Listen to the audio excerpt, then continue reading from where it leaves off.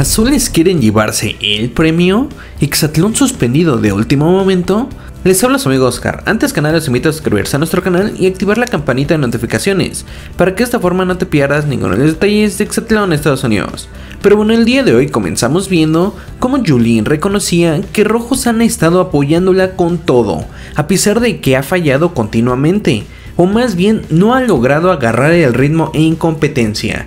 Y es que incluso el mismo Lozada reconoce que Julien lo hace bien, pero no logra cerrar su victoria, como que se desconcentra justo en el último tiro, pero confían en que irá mejorando poco a poco, cosa que no están haciendo ya los seguidores, ya no confían en la roja.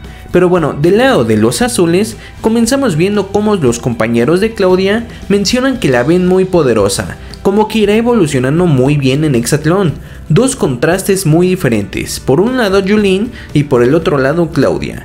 Pero bueno, el día de hoy compitieron en el circuito de los toboganes y chorros de agua, por los beneficios, tres beneficios acuáticos, donde Erasmo hablaba sobre justo lo que venía mencionando en otro videito, de cómo al inicio veíamos a Tarzán como uno de los candidatos más poderosos de la azules, pero simplemente vemos que en algunas ocasiones tiene muchos altibajos, a veces un buen rendimiento y en otras ocasiones ya no, esos mismos altibajos afectan mucho al contendiente. Mientras que también pudimos ver que Tommy Ramos estaba de regreso, ya sin problemas, descartando todas esas ideas de que Nona no lo dejaba participar. No, simplemente Tommy tenía algunos problemas físicos, pero ya está de vuelta. Ahora que en competencia pudimos ver que ese nuevo tiro final de martillo en catapulta para lanzar la pelota en la canasta, pues le costó bastante a los famosos, ya que azules se lograban enrachar haciendo 6 puntos consecutivos, mientras que rojos en toda la competencia solo hicieron 3, terminando esta competencia con 10 puntos azules y 3 rojos, una versión un tanto diferente de famosos, como que no vi esa garra que vivía los días atrás, adicional al tiro final que simplemente se le dio mucho mejor a los azules.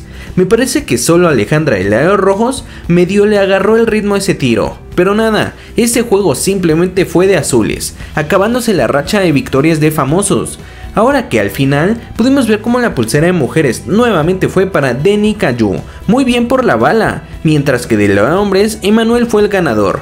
Pero pareciendo que de la de mujeres, sí o sí Denny es la que estará ganando las medallas con pulseras. Ya trae 6 pulseras ganadas, donde por cierto, tal cual como venía mencionando anteriormente, parece que Keta ha caído nuevamente en el bache de derrotas. Y es que en las últimas competencias he notado que pierde mucho, o sea, hoy ganó una, pero siento que ha fallado mucho en las últimas competencias, ya que ha sido la única victoria, por ejemplo, de 5 o 4 pasadas, mientras que ya también vimos a un Julio mucho más confiado en él, mucho más confiado en el tiro. Adicional a que Isaía sigue acumulando victorias, hoy tuvo 2 de 2, Ahora que por cierto, un buen dato de los que suelta Erasmo el día de hoy es que en los enfrentamientos entre Tommy e Isaía pudimos ver que Isaía ya tiene 11 victorias frente a Tommy, mientras que el famoso solo ha logrado 3 frente a Isaía.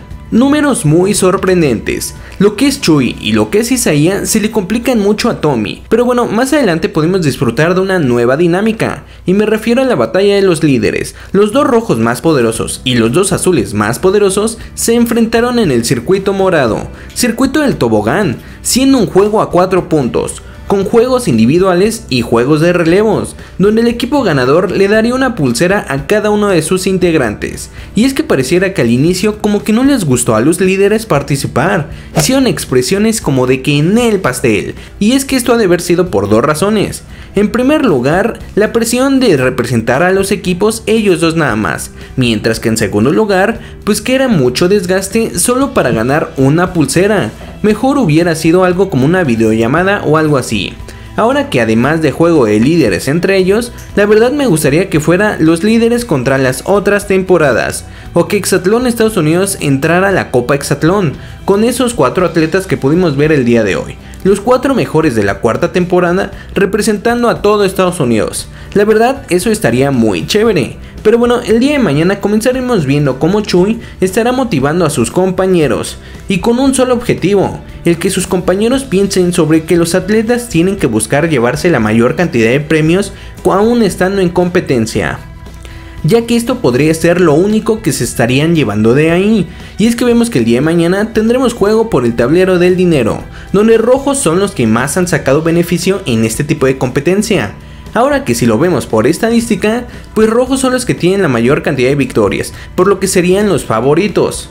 Pero ahora que si analizamos las escenas del avance, podemos ver a unos azules festejando. Y es que después de la victoria que tuvieron por los beneficios, pues llegan como favoritos. Ahora que me imagino que el día de mañana veremos qué efecto tendrán que los más poderosos de ambos equipos tuvieron un poco más de desgaste en competencia. Y es que hasta Nona tuvo que estar en revisión, por lo que seguro estos cuatro pues llegarán mucho más cansados comparados con sus compañeros.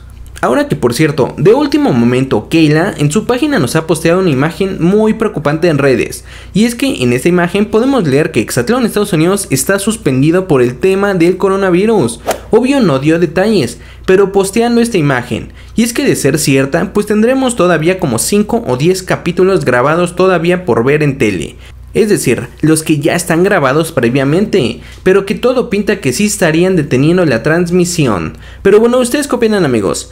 Estaré leyendo todas sus opiniones. Asimismo, no olviden suscribirse a nuestro canal y activar la campanita de notificaciones, así como regalarnos un super like al videito si te gustó. De igual forma, amigos, agradece se pueden suscribir a nuestro nuevo canal llamado Yo Soy Robs, con videos muy divertidos. Les encantará. Muchas gracias por su apoyo. Espero les haya encantado este videito y hasta la próxima.